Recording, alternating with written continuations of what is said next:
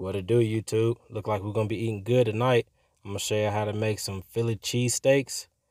Uh, everything you need is all in one kit. So check me out. I bought this Philly cheesesteak kit from Kroger's.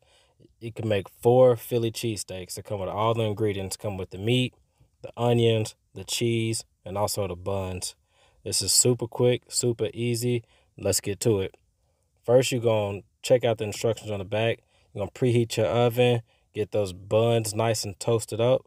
So you're going to throw those in the oven for about six to seven minutes, I believe, on about 400, 425 degrees.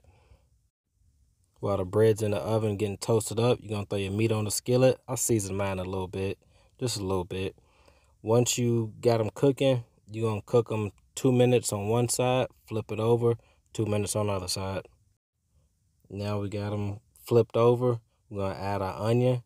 It's a big bag of onion, so I went ahead and used the whole bag. If you don't like a lot of onion like me, just use whatever you need.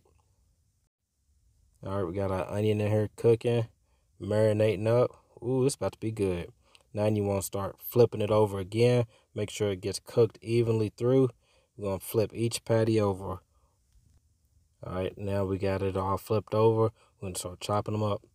Chop, chop, chop, motherfucker. We're going to chop everything up. All right, now we got everything chopped up. It's looking a little soupy. It's okay.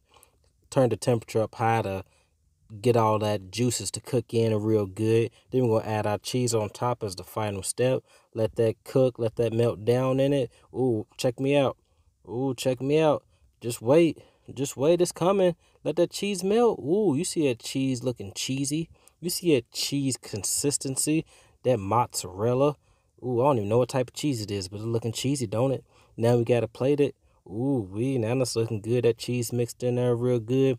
That meat in them buns. Ooh, look at that beef Philly cheesesteak kit. Ooh, we. I should have ate all four of these. My family lucky. I love them. Ooh, we. Check me out now. Y'all better check out these Philly cheesesteaks kit. See you later. Peace.